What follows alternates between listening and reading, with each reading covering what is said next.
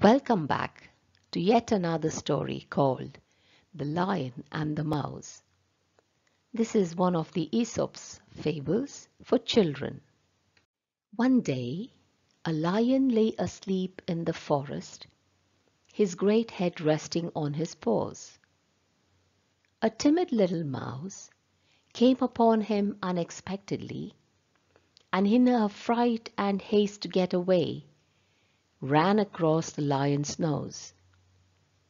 Roused from his nap, the lion laid his huge paw angrily on the tiny creature to kill her. Spare me, begged the poor mouse.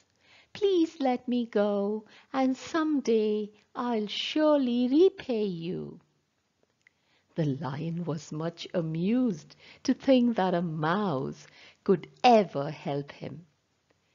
But he was generous and finally let the mouse go.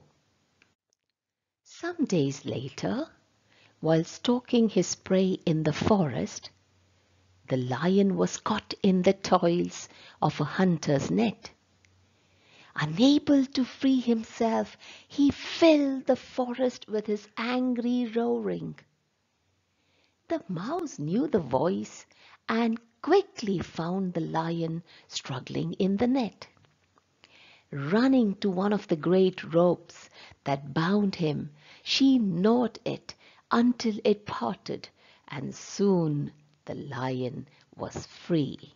You laughed when I said I would repay you, said the mouse. Now you see that even a mouse can help a lion.